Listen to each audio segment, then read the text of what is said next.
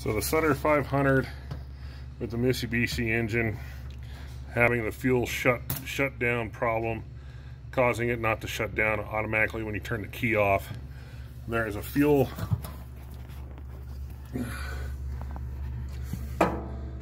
that very top solenoid right there is the one that we're going to be replacing.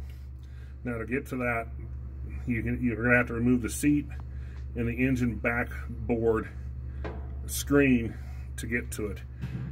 You can take the hood off of it, the air cleaner and the exhaust off of it, but it's going to be a pain to get to. With that being said, we can get to it here. On the very bottom of that solenoid, right where the light's shining, there's a uh, fuel return line the manifold. There's a washer that goes right behind that manifold.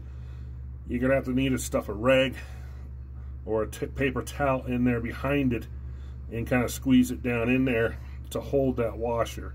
Because once that solenoid comes out, that back washer is going to drop.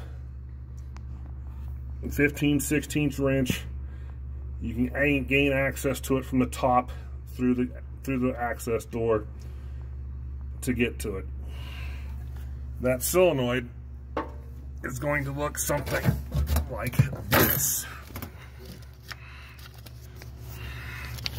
Please hold.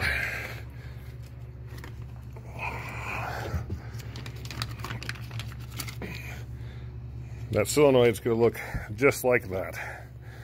That's the solenoid you're going to need immediately replace. That O-ring, it'll come with a new O-ring.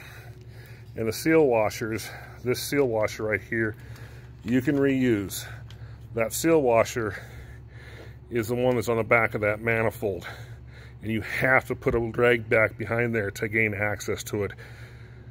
If it, if it falls, it's going to fall in that dozer and you're going to hate yourself about it. I just did this one. I just replaced it.